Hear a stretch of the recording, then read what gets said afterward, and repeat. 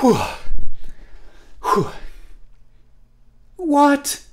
Ah, well, it looks like I lost the Buddymeister somewhere down the road. He has really no endurance at all. Disgraceful. Disgraceful.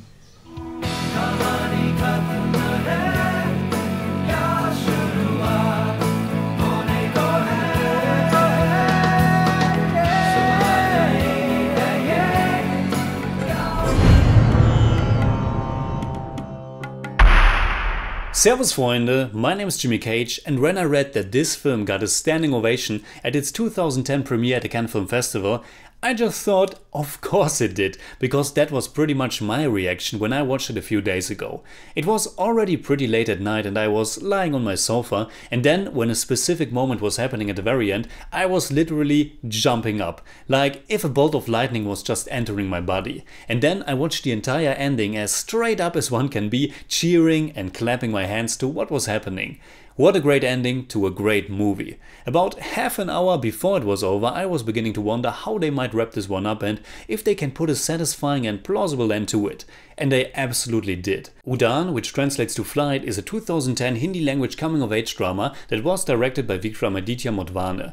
This was his directorial debut and we already reviewed a later film of his last year, his 2016 survival thriller Trapped. Motwane actually already wrote a script to Udaan in 2003, but for many years he wasn't able to find a producer. Luckily, his friend Anurag Kashyap, who we are already familiar with through many of his hard-hitting, out-of-the-norm movies, told him that he would help to produce the film and he also already contributed as a dialogue writer. I have to say that I was really surprised by Udaan. Beforehand, I only knew that it was a well-received coming-of-age movie from India, so I guess I expected something much more typical and familiar. But Udaan tells its story almost completely without any melodramatic notes, and unlike most other coming-of-age stories, there's also no romance plot.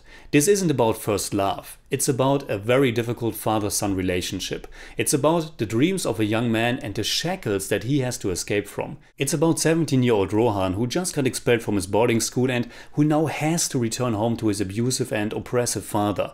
A father he hasn't seen for 8 years because he never came to visit his own son. Being forced to get back to him, Rohan almost didn't recognize his father anymore after all this time and as a big surprise to him, he also has a young half-brother. After Rohan's mother has died, his father married again and got a second son. But that wife is also not there anymore and it's just these three men of different ages living together now. The fourth man that is important for the story is Rohan's uncle, who lives in the neighborhood, has no children of his own and seems to be way friendlier than his father. And that's basically the constellation for this very straightforward story and film. The acting performances are downright perfect and completely natural. It wasn't just the first feature film as a director for Vikramaditya Motwane, but it was also the feature film debut for Rajat Barmecha, who portrays Rohan. What he is able to do is remarkable. Rohan is a very sensitive and thoughtful adolescent. His dream is to become a writer and he's already creating these wonderful poems, one of which he's reciting at the very beginning when he is still with his friends at a boarding school. Everyone who is able to listen to some of his work is really affected by it. Even if they are not fully understanding everything, they recognize his talent, passion and creative mind. Now, unfortunately, I don't understand Hindi and I depend on the English subtitles, but I was still able to appreciate the wonderful sound of his words. Some of the most sublime moments of the film show Rohan on his own, spending time alone in his new surroundings, thinking and writing down his thoughts and ideas. He's even writing his own novel and one of the most positive moments in the film takes place in a hospital, when his writing is attracting more and more patients and doctors. Now, me describing all this might sound a bit too sentimental or like he's some kind of wunderkind, but that's not really how it comes across in the film. He's just a talented young man who wants to follow his passion and try his luck in this world. But his father thinks nothing about the writings of his son. He is a hardened man, is to be addressed only as sir and not as dad, and he doesn't show any love for his sons. They have to do what he says. Rohan has to jog with him every morning and even race him for the last meters. He has an impressive stature and to be manly and hard is important for him. It's this outdated understanding of what a man should be. A world in which writing, in which emotions are defined as effeminate, as girlish. He forces his son to work in his steel factory and in the afternoon study engineering. Rohan should basically become like him and this is of course something that's quite common in many families, but I think even more so in the Indian society. And becoming an engineer is oftentimes regarded as the highest goal for a man. But this is not Rohan's world at all and the scenes at the factory very directly express the crushing of his dreams and with that also his personality and drive. The story takes place in Jamshedpur, which is also known as the steel city of the Indian state Jharkhand.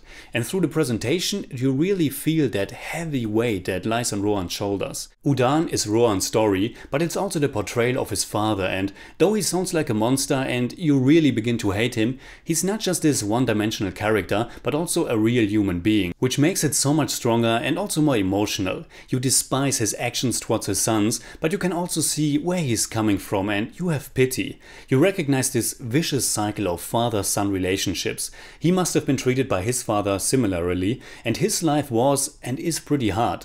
More than once he is mentioning that there is a recession and he just assumes that his son will automatically work or function the way he is supposed to do in his eyes. Living in this world is difficult and being a parent only makes it so much harder, but it's his goddamn responsibility to try his best and it's heartbreaking to see that he comes up with all the wrong decisions.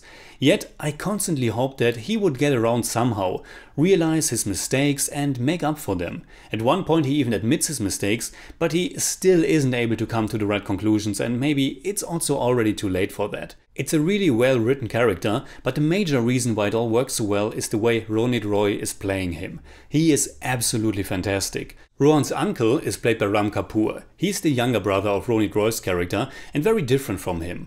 Udaan is also a film about the relationship between brothers. When Rohan arrives at his old home, he's very repellent to his young brother, of whom he knew nothing about until that day. He brought his comics and an old Superman action figure, but he doesn't want his younger brother to take them. That Superman figure becomes a crucial thing for the developing of their relationship and also for Rohan's own personal development. When he's looking at old photos later later on, he also sees something from the past that then only reinforces his belief of what's the right thing to do. Udaan shows us the importance of not repeating the mistakes and toxic behavior that are passed on to us. It's a completely realistic and also very serious film. It was shot on 16mm film and it has a very raw quality. And oftentimes it is also very dark, literally, with much of the image in shadows and very few sources of light. But among all its darkness and weight, there is also hope and this inspirational quality. The direction is fantastic and the few songs amplify the film's positive, rebellious nature at heart. The music was composed by Amit Trivedi with lyrics by Amitabh Bhattacharya and Anurag Kashyap. In the end, it comes down to the fact that Udaan just really, really moved me. So in German I'd say, Udaan ist ein fantastisches Coming-of-Age-Drama. Großartige Darsteller, starke Regie, kraftvoll und einfach unglaublich bewegend. I give Udaan 8 out of 10. It's more like 8.4, but I don't do that.